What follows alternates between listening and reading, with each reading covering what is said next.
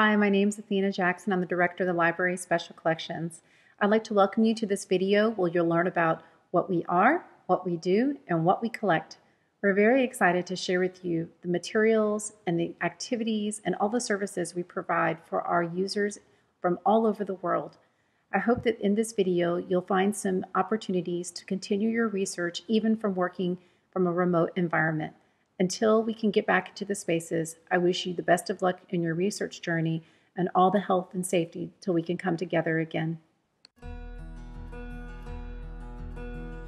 Special collections is the broad term that we use for the rare and often unique materials held by UCLA Library that enable original research using primary source materials.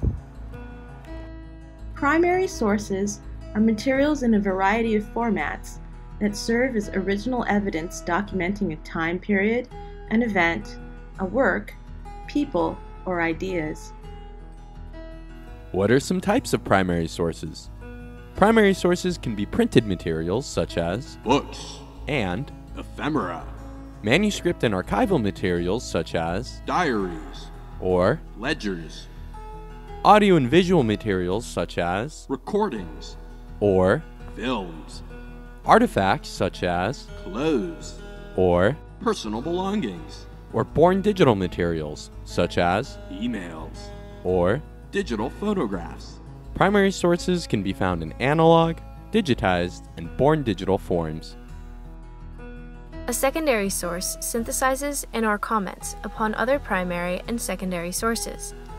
Most works of scholarship are secondary sources and are differentiated from primary sources because of the added element of critical synthesis, analysis, or commentary.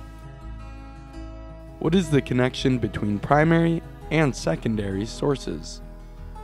Primary sources provide first hand accounts of the topic or event you're researching, and secondary sources are written about these past events through the lens of the time period in which these secondary materials were written.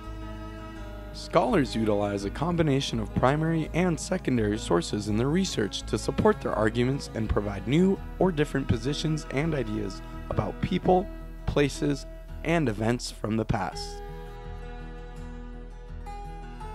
Why are primary sources important? Primary sources document the lived experiences of people and communities as they intersect with historical events. What is bias and why is it important? Primary sources are often first hand accounts that reflect the viewpoint and memory of a participant or observer, so it's important to remember this information may contain bias. The authors of secondary sources interpret these primary materials through various lenses to support their argument. The resulting research products are subjective and contain bias. It's important to think critically about all your sources. During in class activities using special collections materials, we ask students to keep these questions in mind when analyzing both primary and secondary information sources. Who created this item? When was this item created? What does this item document? Who is the intended recipient or audience for this item? What purpose did this item serve?